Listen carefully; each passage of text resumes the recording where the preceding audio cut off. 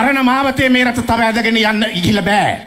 අද ඕනේ ධෛර්ය සම්පන්න මාවතක්. ලෝකයේ ඇතිවෙමින් තිබෙන බල තීව්‍රතා හරියට හඳුනගන්න පුළුවන් නා- මාවතක්. ලකඳුරු අතර තීව්‍රතාව වැඩි වෙනකොට තමයි ලංකාවට තියෙන උණු- ගැන තියෙන උනන්දුව තව වැඩි වෙන්නේ. මෙතෙන්ට තියෙන ඇල්ම බැල්ම වැඩි වෙන්නේ. ඒ නිසා තමයි টොප් සීක්‍රට් මිෂන් එන්නේ. ඒ නිසා තමයි මුල්‍ය අරමුදල ආර්ථිකයේ බෙල්ලෙන් අල්ලගෙන හිර කරගෙන ඉන්නේ. ඒ නිසා තමයි ආර්ථික නිදහසයි, ජාතික ආරක්ෂාවයි, ස්වෛරීත්වයයි සියල්ල එකට එකට අහිමි වෙමින් යන්නේ. මේක වළක්වන්න නම් දැනුවත් සබුද්ධික මහා දේශපාලන බලවේගයක් බවට අපි පත් වෙන්න ඕනේ.